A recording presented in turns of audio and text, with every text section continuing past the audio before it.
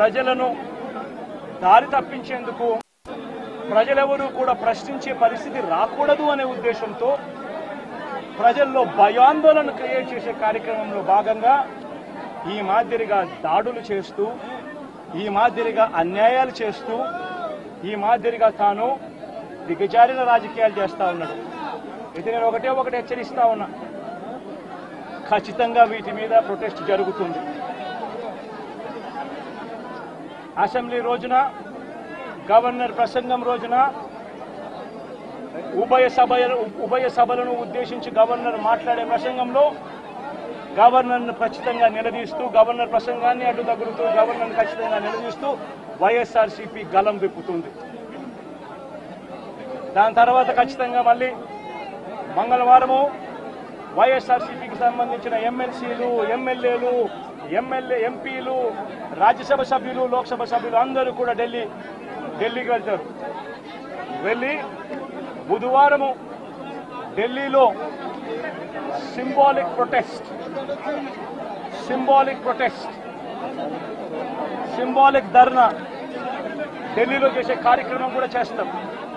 రాష్ట్రంలో జరుగుతూ ఉన్న దాడులు రాష్ట్రంలో ఉన్న లా అండ్ ఆర్డర్ పరిస్థితులను దేశమంతా కూడా చూసేట్టుగా దేశమంతా కూడా దీన్ని గమనించి దేశమంతా కూడా దీన్ని ప్రొటెస్ట్ను వాళ్ళు కూడా ప్రొటెస్ట్ చేసే చేసే విధంగా దీన్ని హైలైట్ చేసే కార్యక్రమం చేస్తాం. ప్రధానమంత్రి గారి అపాయింట్మెంట్ ఇప్పటికే అడగడం జరిగింది. అమిత్ షా గారిని ప్రెసిడెంట్ అపాయింట్మెంట్ కూడా అడగడం కూడా జరుగుతుంది. వీళ్ళందరూ కూడా అపాయింట్మెంట్ ఇస్తే వీళ్ళందరినీ కూడా కలిసి కలిసి వీళ్ళందరికీ కూడా చెప్పే కార్యక్రమం కూడా చేస్తాం. మీ చెప్పేటప్పుడు నువ్వు ఫ్లో పోతుంది కదా. నువ్వు ఎంత ఆంధ్రజ్యోతి విలేకరు అయితే మాత్రం మధ్యలో వచ్చి చెప్పడం ధర్మం కాదు కదా. ఏం చెప్తా సీరియస్గా జరుగుతా ప్రకారం మొదలు. ప్రధానమంత్రి అపాయింట్మెంట్ను హోంమంత్రి అపాయింట్మెంటు ప్రెసిడెంట్ గారి అపాయింట్మెంటు వీళ్ళ ముగ్గురు అపాయింట్మెంట్ కూడా అడగడం జరుగుతూ ఉంది. వీళ్ళ ముగ్గురిని కూడా కలిసే కార్యక్రమం కూడా జరుగుతుంది. వాళ్ళ అపాయింట్మెంట్ ఇస్తే వాళ్ళని కూడా కలిసే కార్యక్రమం జరుగుతుంది. జరిగి వీళ్ళందరినీ కూడా రాష్ట్రంలో జరుగుతూ ఉన్న దిగజారిన పరిస్థితులను ఎక్స్ప్లెయిన్ చేసి రాష్ట్రంలో ప్రెసిడెంట్ రూల్ పెట్టాల్సిన అవసరం ఎంత ఉంది అని చెప్పి కూడా గట్టిగా వాళ్ళ దృష్టికి తీసుకొని పోవడం కూడా జరుగుతుంది. చెప్పమని అడుగుతున్నాను ప్రధానమైన డిమాండ్ ఈ ఇన్సిడెంట్లో మీదేంటి అన్నా? ఇన్సిడెంట్లో ప్రధానమైన డిమాండ్. ఈ ఇన్సిడెంట్లో ప్రధానమైన డిమాండ్ ఒకటేనా? ఆ కుటుంబం ఏం పాపం చేసిందని చెప్పి ఆ కుటుంబంలో ఒక మనిషిని చంపారు. చంపడమే కాకుండా ఆ కుటుంబాన్ని అప్రతిష్ట పాలు చేస్తూ ఆ పిల్లాడి మీద ఎలాంటి చెప్పుకోదగ్గ హత్యలు చేసిన కేసులో లేకపోతే ఒక ఫ్యాక్షన్ కేసులో లేకపోతే తన ఒక ఫ్యాక్షన్ లీడర్ కిందనో ఒక హత్యలు చేసిన వ్యక్తి కిందనో తనను ఒక ప్రొజెక్ట్ చేసి పోలీసులు ఏ రకంగా ఆ- వ్యక్తి ఆ పిల్లాడి వ్యక్తి ఆ- జీవితము ఆ కుటుంబం జీవితంతో చెలగాటలాడుతూ ఏ రకంగా వ్యక్తిత్వ హరణ చేస్తూ ఉన్నారో ధర్మమేనా?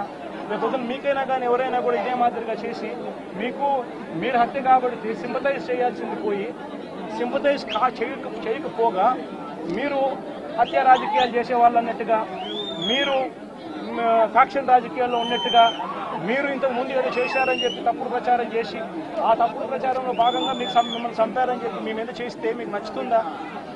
కనీసం పోలీసులు అనే వాళ్ళు ప్రేక్షక పాత్ర వీడి చంద్రబాబు నాయుడు అనే వ్యక్తి క్షమాపణ చెప్పాలి. మోస్ట్ ఇంపార్టెంట్ థింగ్ రాష్ట్రంలో జరుగుతూ ఉన్న దాడులను తాను తాను ఖండించి క్షమాపణ చెప్పి ఇక మీదట ఇలాంటి పరిస్థితులు ఉండవు అని చెప్పి ప్రజలకు భరోసా ఇవ్వాలి. వైఎస్ఆర్సీపీకి ఓటు వేసిన వాళ్ళకు కూడా భరోసా ఇవ్వాలి. ఎందుకనంటే ఈరోజు ముఖ్యమంత్రిగా తాను ఉన్నాడు అని అంటే కేవలం వైఎస్ఆర్సీపీ నుంచి కూడా ఒక పది పర్సెంట్ ఓట్లు అటువైపున తన మోసానికి మోసానికి అటువైపున నమ్మి అటువైపున పోయిన ఓట్లే కదా. ధర్మంగా అది కదా ఈ మాదిరిగా చేయడం. మొట్టమొదటిసారిగా క్షమ చంద్రబాబు నాయుడు క్షమాపణ చెప్పాలి. పోలీసులు వాళ్ళ విధులు నిష్పక్షపాతంగా చేసే విధంగా పోలీసులు అడుగులు ముందుకు వేయాలి. ఇవన్నీ జరిగే దానికోసమే ఒత్తిడి తీసుకొచ్చే కార్యక్రమంలో భాగంగా ఇవన్నీ చేస్తారు.